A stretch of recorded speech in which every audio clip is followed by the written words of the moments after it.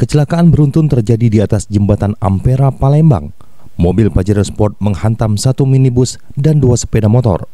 Satu pengendara motor tak sadarkan diri akibat luka parah di kepala.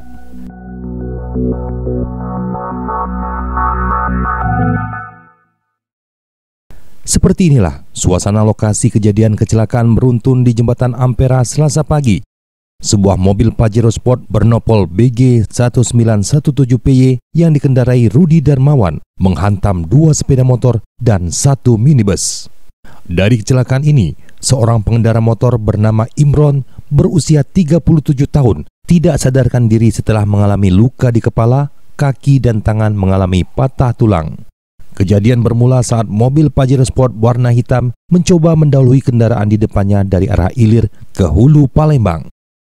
Dengan kecepatan tinggi, mobil mencoba menyalip kendaraan di depan. Tanpa disadari, ternyata mobil yang dikendarai Rudi Darmawan oleng dan menghantam mobil minibus dan dua sepeda motor dari arah yang berlawanan. Sedangkan untuk mobil Pajero Sport yang dikendarai Rudi Darmawan menabrak pagar pembatas jembatan Ampera. Satuan Lalu Lintas Polres Sabes Palembang yang mengetahui kejadian langsung turun untuk melancarkan arus lalu lintas yang padat di atas jembatan Ampera. Hmm, makan nganan. Iya. Aku ngelak dikit. Iya. Kalau nggak ngelak dikit habis aku. Oh, tadi ngebut mobilnya memang nggak? Eh? Ngebut mobil tadi ya? Standar lah pak. Heeh. Standar lah jalan itu. Oh, dia tidak lagi ngelakson dong? nganar langsung.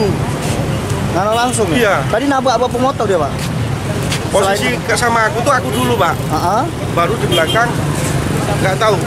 Kan di sini ada rekaman CCTV nanti tidak. Itu. Oh, ada aja dua motor ya tadi. kan? Dua, dua Ah. motor ditabrak, Pak. Ah, ah. Tadi ada Pak? yang ditabrak. Oh, Bapak juga dulu yang ditabrak. ya? Yang dulu kalau yang motor ini nggak tahu.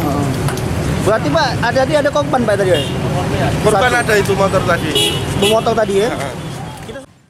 Pengendara sepeda motor yang sekarat dan tak sadarkan diri langsung dievakuasi ke rumah sakit Muhammadiyah untuk dilakukan perawatan. Untuk kepentingan pemeriksaan polisi, kendaraan yang mengalami kecelakaan beruntun di atas jembatan Ampera langsung diamankan ke unit Lakalantas Polrestabes Palembang. Dari Palembang, Sumatera Selatan, reporter Andi Ruskan, kameramen Muhammad Rian, Palembang Baru TV mengabarkan.